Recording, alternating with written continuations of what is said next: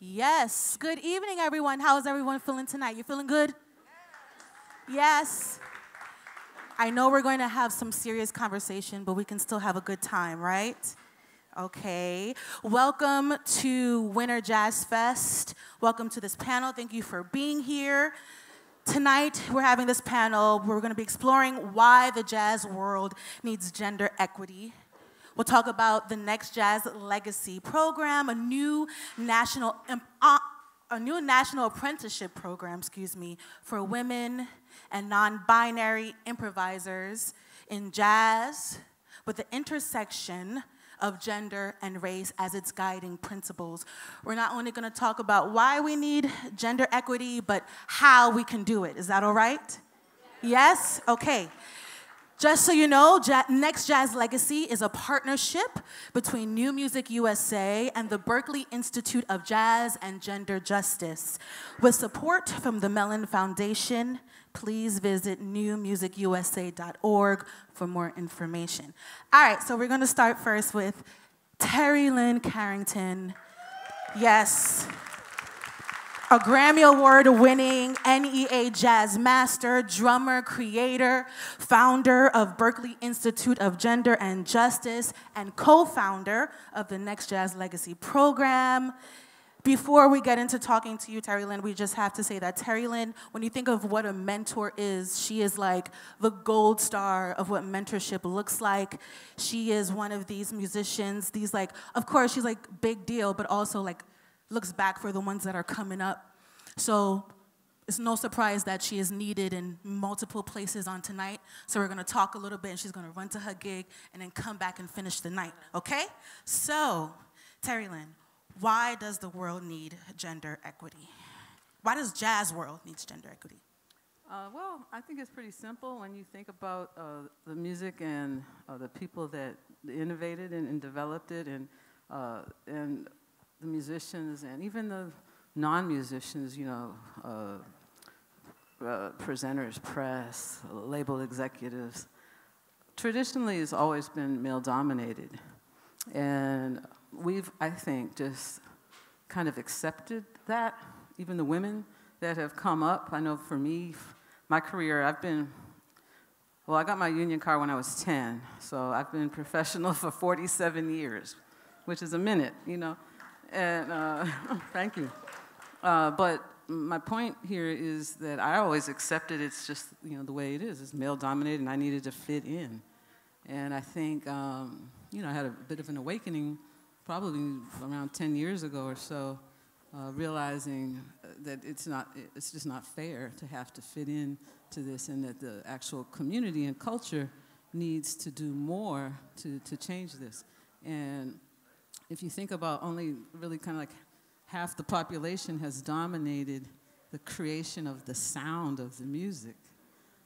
I'm wondering, I'm just, I'm talking, you know, I'm uh, teaching myself how to listen differently and wondering what it sounds like or what it will sound like when there's gender equity and, uh, you know, what other kinds of, uh, you know, what, what other kinds of sonic uh, palettes will be discovered and, and, and um, you know, investigated. So that's, that's why, because the sound demands you know, that we evolve, you know, or, or we'll be stuck in a different way. I mean, the music has constantly been evolving, of course, it's a continuum, but uh, it's going to evolve differently when there's gender equity.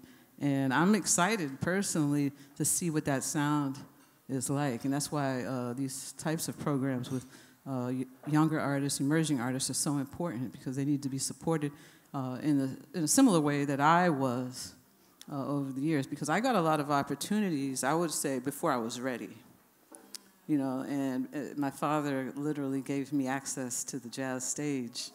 And uh, I realized that's not the case for everyone. So I think these types of programs are super important to help that. And I've seen, um, I know you haven't asked me all this, but because I have to leave, yes, like, please. like five minutes. Yes, you're saying everything I was going to ask you anyway.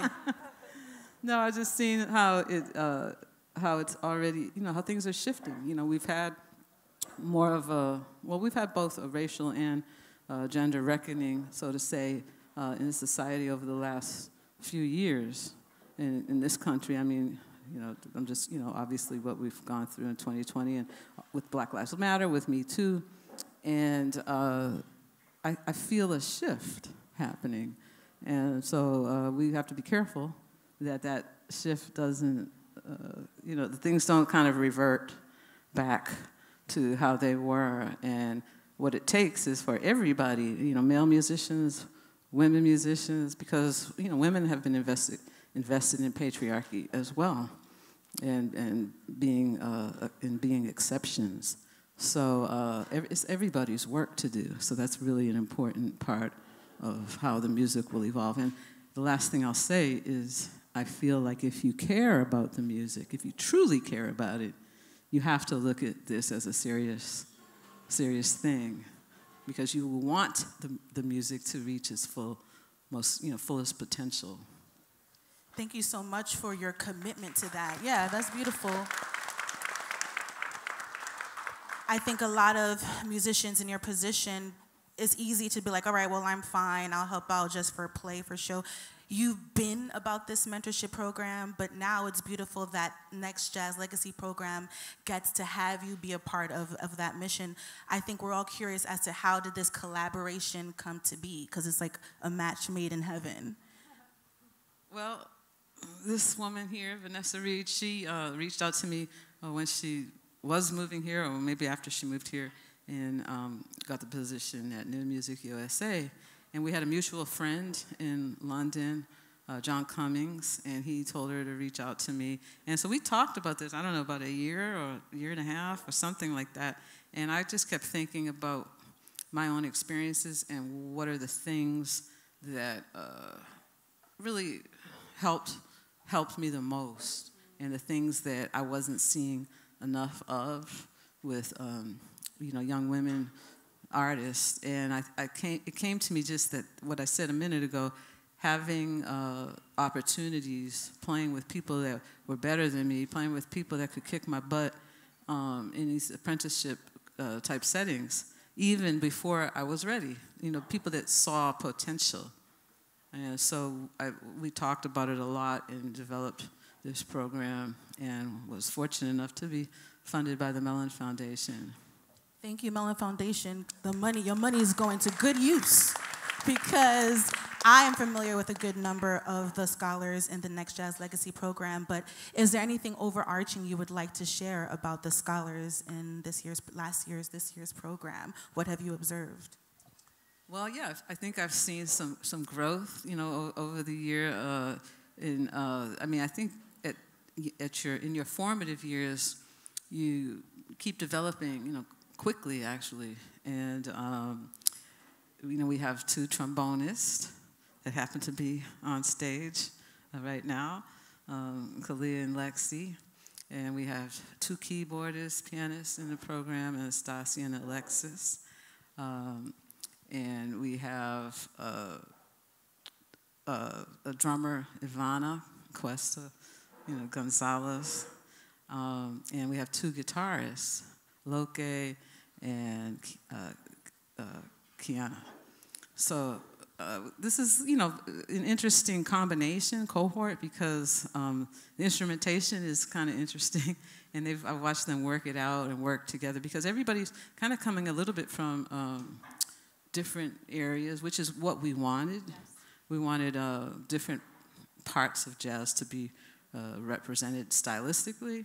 And we also wanted uh, people that were also in different phases or stages of, uh, of their development. Or, you know, like, you know, some people may, you know, have records out already and some people may not. Um, some people may have had some strong experiences playing with well-known musicians, and some people may not. Some people might right out of college, and some people may have been out for a little bit. Um, so, you know, we had these different parameters that we were trying to address, so it wasn't, uh, you know, the same type of person for I, all seven. I think it's beautiful that it's a diverse, um, everyone has access to that. It's a big thing about jazz is tokenism. It's always the same people who get the opportunities. So I think it's wonderful that it's curated and anyone can get a chance. Terri Lyne, it's time for you to go to your gig. So Yes, thank, thank you. Thank so for much, on the Terri Lyne clock. Carrington. All right, and I apologize for having to leave, but you're in good, good hands with all these amazing people. And, and thank you to Vanessa for being such a great partner, and to New Music USA. Thank you, Terri Lyne. We can give her a hand. She'll be back later on to play, so stick around if you can. Hi, Vanessa. Hi. Um, I you're so humble. You asked me not not to recite your whole resume, whatever. But I think what you're doing. Uh, she's president of New Music USA and co-founder of Next Jazz Legacy Program. I think it's incredible and so important. I didn't know about this program until this year, and I was like, oh my gosh, there's something like this that exists. Like the jazz community needs that. So why is this important to you? So this is really important to me personally and to New Music USA because many of our programs as a national resource for music creators are really seeking to address the many inequities that we know still exist in our field. And one thing I'm particularly passionate about is collaborating with artists to ensure that we're building these programs with the right kind of knowledge and expertise and networks in place from the start. And we're not trying to parachute the ideas of funding organisations or service organisations onto our communities. So I've really valued the collaboration with Terry Lynn Carrington. And also, you know, we've got an incredible lineup of mentors, and you're going to hear from one in a moment, and band leaders who've been hosting apprenticeships. So building these ideas with artists to bring about change is what we're all about at New Music USA. And I think with Next Jazz Legacy, what's important, and this applies to many of our programs, we're trying to focus on a particular moment in an individual artist's career where they're at a really pivotal time and they could really benefit from multi layered forms of support. So we didn't want to just give a grant. That's important, but we also wanted to make sure that the apprenticeship was central to this initiative, that they would also have a mentor, and we've also been making promotion films about each artist, and perhaps one of the most important things is the collaboration amongst the artists involved in the program. So hopefully you're all going to stay in touch after this ends. And, you know, that's a way that they can become a kind of network for good, a sort of force uh, for the future in continuing to lift up other women and other non-binary instrumentalists in the community. That's so beautiful. I think we can all clap to that. Um, can you talk a little bit more in depth about the different like areas that happen within the program? I love. I feel like I remember you mentioned in entrepreneurship, like financial support and education of some sort. Yeah, I mean, we're looking at supporting all of the participants with their creative development. So there are kind of music mentors as well as business mentors, Business, yeah, yeah. who are helping um, each of the um, artists in Next Jazz Legacy think about how they can best use their unrestricted funding to get their career to the next level. And this is similar to some of the other programs we run at New Music USA. For example, in film music, we know that there is an incredible uh, gender gap and, and lack of diversity in film scoring. So again, we're collaborating with leading composers in film music in Los Angeles to mentor and support the next generation of diverse composers working in film.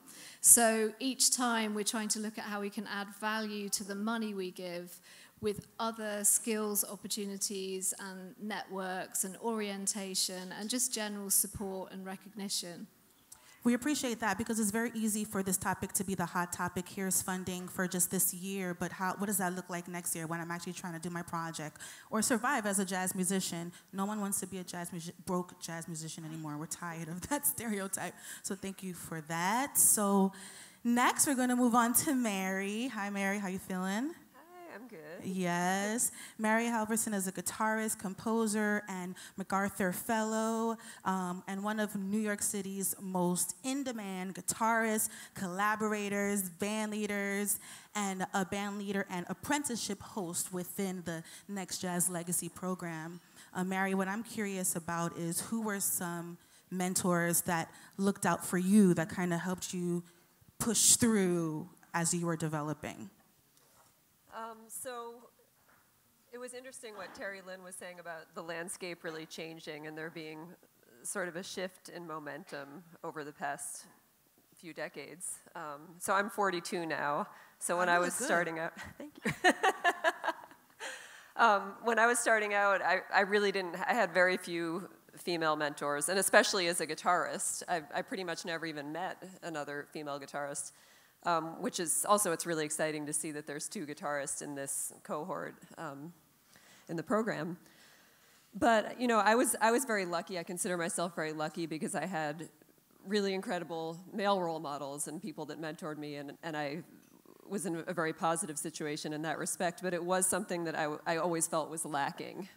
Um, I you know I had a couple females who were important to me. One was Jane Ira Bloom, the saxophonist, who uh, was my teacher.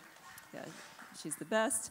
Um, and another saxophonist, actually, uh, Diane Warnick, who I, I, played saxophone for a brief while in high school, and I studied with her.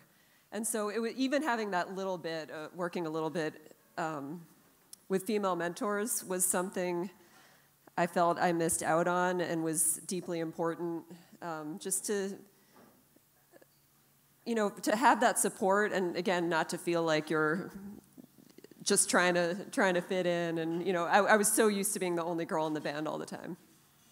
That being said over the past couple decades i'm really feeling this shift. I mean i, I work with so many women now you know it's not 50% but i work with so many women and I, play in a lot of bands that are all women or more than half women so it's been really nice to see that momentum shift and i think what's important about this program is continuing it and continuing it with the next generations and also fostering relationships between people, uh, musicians of different ages too. That's something that's always been important to me. I work with a lot of musicians that are older than me, that are younger than me. So, you know, checking out, I'm, I'm working with Kalia, you know, in this program, and she's somebody I was already aware of. I'd been wanting to connect with anyway. So when this opportunity came up, it was like great. Um, and you know, it's really like a, it's not just I'm teaching Kalia or whatever. It's like I'm learning from her too, and I'm checking out what she's doing, and that's really inspiring to me. Um, so it's been really exciting, and I think you know the more female musicians that are out there doing it, the more it inspires younger people to get started. So that's that's kind of what I'm about, and that's why I'm interested in this program. Thank you, Mary. Thank you for the work that you're doing. I would like to introduce you guys to Kalia. Um, who was a trombonist, as Mary mentioned, creator um, and Next Jazz Legacy awardee. Kalia worked with Jen Shyu as well as apprenticing with Mary this past year, as you know. She also performed on SNL with Japanese Breakfast and released her album Regrowth on New Amsterdam Records. So, what's up, Kalia?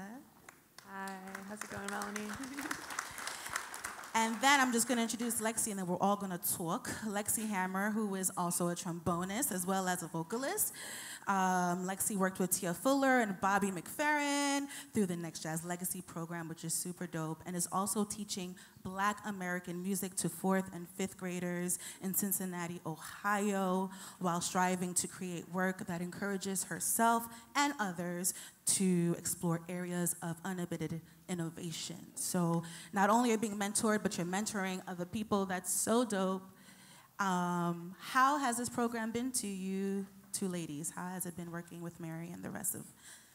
It's been it's been sorry, it's been great. Um, I don't know. You, you asked Mary if she had had female mentors when she was coming up in the music, and I hadn't had female mentors until this past year, and I hadn't really had a mentor at all up until the last year.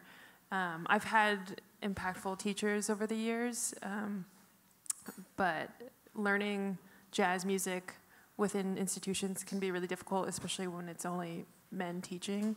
Um, and I feel like some of my teachers weren't looking out for me in that way.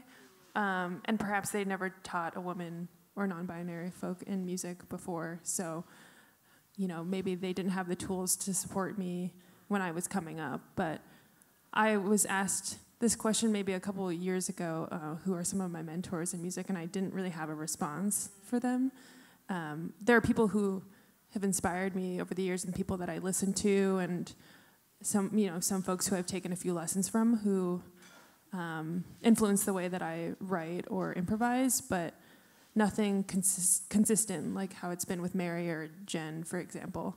Um, and now it's so nice when people ask me that question because I can I consider both Mary and Jen to be like really huge mentors for me.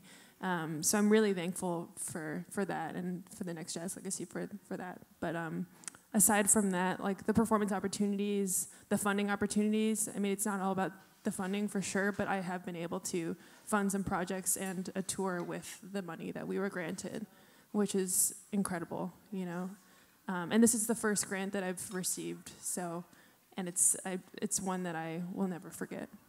That's beautiful, and we hope that you get all the grants and you get all the money. We want all, a lot of abundance for all jazz musicians. yeah. Lexi, I think it's really awesome that you are being mentored, but you also have the capacity to give back to the youth, teaching them Black American music. Where, how do you make the time? How do you split yourself in three to do all of that? Yes, so um, I love being able to teach the younger kids about jazz and not just jazz, but also gospel and blues. I love it because me, uh, when I was growing up, I loved to explore with music. I didn't only just want to be in the church and just listen to gospel music and just sing gospel music. Like when I heard another song that I wasn't used to, I was like, ooh, what is that? Let me get into it. So I like to explore myself. Like that's natural to me. So I love to give that back to kids that are in Cincinnati. You know, I love to give them uh, what was given to me, basically. My mom, you know, she would have the Clark Sisters planned, and she'll have uh, Fred Hammond planned. Then I found like take six in the tape box. So I was like, uh oh, okay. So that gave me a lot of joy finding all this different music around me, especially going to perform in arts school and, you know, being able to play classical music first before jazz, you know, and then going into choir. All of that really made me the person that I am today. So I love to give back to kids and say, okay, so here's jazz. Here, these artists get into it. Let's look at it, and then also be able to give them something in gospel, give them something in blues, give them something in funk. Because you know, it's it's all good to me. I love it. I love that. I am obsessed with the fact that you found a way to not only be present as an improviser in Black American jazz music, but also maintain your gospel roots. I'm curious, how has that marriage worked with the Next Jazz Legacy program? Because a lot of times, you know, people who are jazz musicians who also come from R&B, gospel, soul, it's like, but we don't do that in this program. This is just jazz. Is that different with Next Jazz Legacy program? Um, for me, I've had a great experience uh, being not only just a jazz artist, but like gospel as well. I've had a great experience in this program because I've been given the opportunity to be exactly who I am on the stage. You know what I mean? Playing trombone, okay, and then uh, especially last time I just played with Miss Tia this summer, and uh, playing with her, I not only played trombone, but she also gave me the space to play tambourine. You know, it's kind of interesting. So I get to bring in my home you know, onto the stage now and into the future. So I've had a great experience marrying the two genres, you know, because that's who I am. So, yeah. So beautiful. I think we always talk about why, like I mentioned before, why we need gender equity, but I would like anyone who is inspired to answer how, what are some things that we can do so that things can get better when it comes to gender equity, race equity, even ageism. Woo, that's another thing. What can we do on a day to day basis to change that? So, the first thing I would say is I think we just need to celebrate all of the amazing initiatives that we're now seeing, even just in New York, um, that are deliberately focusing on those who've been left out in the past. And so, you know, I like the idea of Next Jazz Legacy being in a family of programs alongside Jen Shyu's M3 Mutual Mentorship for Musicians, which we've also supported, which is more focusing on some of the challenges for mid-career artists. And then, you know, that complements what we're doing with Next Jazz Legacy. So I think the more the better. Um, and the thing I'm really passionate about is slightly rejecting this idea that it's all about education, it's all about the next generation. I don't believe in that because I think if we only invest in education and the next generation and don't think about championing the people who are already there, then these younger people are kind of looking into a void and will never have the role models that they need to kind of feel that inspiration and believe that they can get there. So that's why in a previous role, I also set up Key Change, which is the global pledge that over 500 festivals have now signed up to. And they're all committed to having gender balance on their stages by, well, actually by the end of last year, that was the pledge. So, and Winter Jazz Fest is part of that initiative. And I think the next generation needs to be able to see themselves on stage, and we should stop kidding ourselves that there aren't any women or non binary musicians out there that we can already book and that we can already program. They are there, we just have been kind of ignoring them, and there have been obstacles and prejudices that have meant they haven't had as many opportunities as their male counterparts. And for the scholars, I'm curious if you could just dream of a perfect world of like what things would be in place for you to thrive as women in jazz, what kinds of things? Some, for example, I always think, wow, we need an artist led union, you know? What are some things that, you, if you can imagine, that we could have to make things better? For me, it's more so the culture in rehearsals or on gigs is not only, and this happens now, and I feel like our generation is really good at this, but looking out for each other and not always, only having to look out for myself. And that's something that I wish to continue. It's not so much, I mean, I hope for that in my future, but I hope for that currently too, to not feel like I always have to speak up for myself if something happens, you know? And so just ultimately, I would love the support from everyone, you know, regardless of the gender of the people I'm working with. Um, yeah. It sounds like you're talking about allyship, which is another thing that I think is really beautiful about Next Jazz Legacy is that you also incorporate male mentorship and support as well. So, like, a male ally is really important in this journey. You want to talk a little bit about that? Anyone want to mention anything?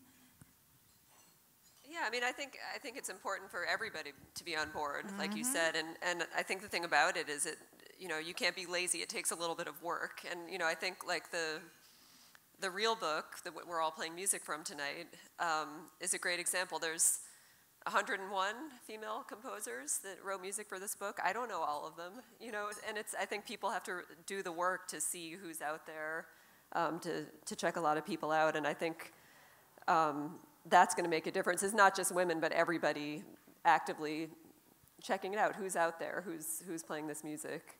um, who are these people? Awareness. Awareness is so important. Yes. And yeah, Terri Lyne and I were both very passionate about involving men and women in the program because it's simple. Gender equity benefits everyone. The music will be stronger. The music will be more relevant to more people if we're drawing from a more diverse talent pool. So you can even see it as a kind of selfish reason to be involved. You know, the whole community will be stronger. I'm curious before we open it up to our Q&A, is there any cool projects any of you human beings are working on that you want to share? Any gigs in New York City happening where we can come hear you play in the next few weeks? Where can we find you? What's happening? Um, so I'm looking to release my first ever project this year. Um, it's going to be a small little EP, going to show the world what I can do, and especially um, get the folks at home, like they've been like, when is your CD coming out? I've been hearing that for the last five to 10 years. So it's like, all right, just give me a minute. It's going to be here. So I'm looking forward to releasing a project. Wonderful. Make sure you guys follow that. Well, I get to go on tour with Mary in April, which I'm really excited about. Yeah. Yeah, that'll be really fun. Um, and then I'm playing a couple other sets as a part of Winter Jazz Fest. If y'all want to come check me out, I'm playing with Joel Ross uh, tomorrow night at LPR, and then Saturday I'm playing with Alfredo Colon. Um, I'm not sure of the exact venue, but it's a part of the Brooklyn Marathon at 10:45. Yeah. Awesome. And you, Mary, you got anything you want to let the people know? Um, well, the tour with Kalia in April. Um, for those of us who are based here in New York, we're going to be at Pioneer Works in Brooklyn. Um, I don't remember the exact date, but it's sometime in early April. Um, and I have another gig tomorrow night at Winter Jazz Fest with the pianist Sylvie Courvoisier, and that's at the Jazz Gallery. Beautiful. And I and I don't have any gigs. Obviously. You don't have any gigs, Vanessa. But but the great exciting news is that just a couple of days ago, with another brilliant panel of jazz artists, we selected the next cohort of uh, Next Jazz Legacy artists for next year. So watch this space for that announcement. There are seven more brilliant uh, women and non-binary artists who are going to be announced in the next few weeks. That's very exciting. When is the window where people can apply for the next one then? So people can start getting ready now? Uh, this fall, I This think. fall, That's when we'll be looking at that. Okay, that's exciting. Um, I, we're going to open up real quick. Is that all right? If we have, we can ask some people. I'm curious if anyone in the room has any ideas of how we can really, for, outside of programs like Next Jazz Legacy program, what can we do to forge equity in the jazz world? What are some tools? What, if we could imagine a world like that, what would it look like? Anyone? Everybody quiet. No one? Anyone have any questions about Next Jazz Legacy program? No? So, Melanie, how about you You have a question? Yes.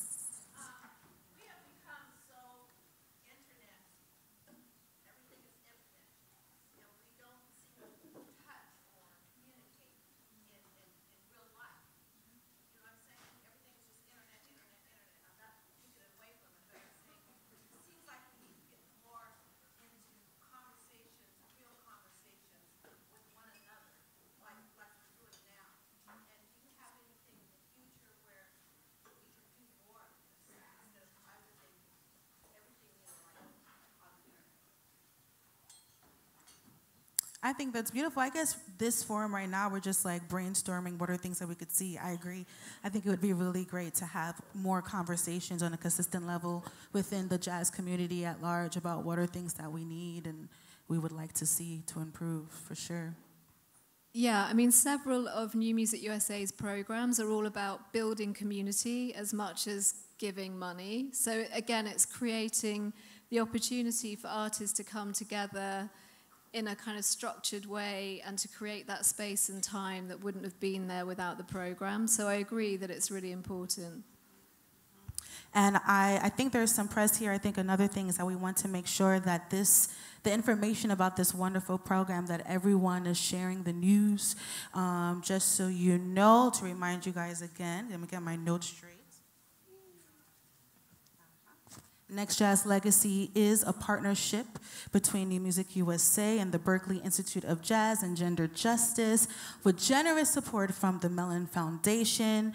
If you want to know more, go to www.newmusicusa.org for more information. Thank you so much, everyone, for being here. How's everyone have anything else they want to mention before we have some great music for the rest of the evening?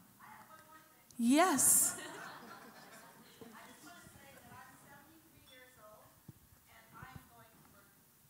Yes.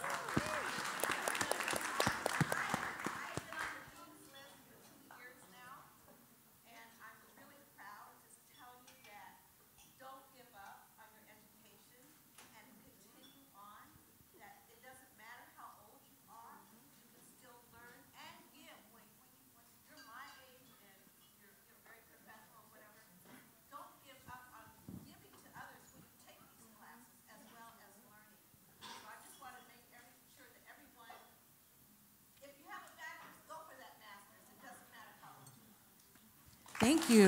We love that. It's true. This this industry. Yes, we have another question. Yes.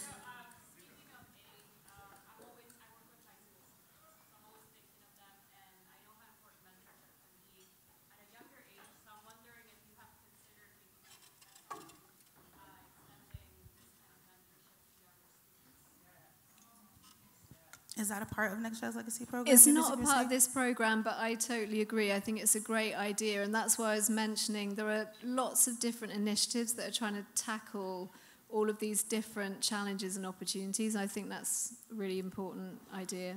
There are programs like Harlem School of the Arts in Harlem. Um, Saint, uh, there's the Brooklyn School of Music, Brooklyn Academy of Music. There are small little pockets of music education, jazz education, but I think the real issue is how can how is this resource available to everyone? So since we're all brainstorming tonight, that's something that maybe we can explore some more. Is how can everyone get access to this? Not just the rich kids or the kids whose grandparents are jazz legends or something. You know what I mean? Um, And one thing, yes, I- there also there's a program called Face the Music, um, which I think is from the Kaufman Music Center, but it's also a program, and, and I think it um, does involve high school age kids, and it's really cool. All right. Well, in this, yes, yes, yes, please.